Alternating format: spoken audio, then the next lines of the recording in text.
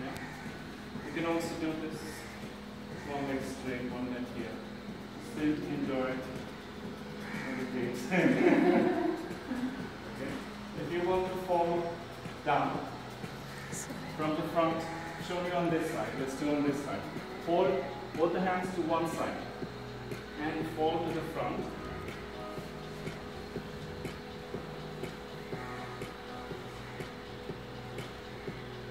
stay here, you can lock your fingers, you can hold the foot.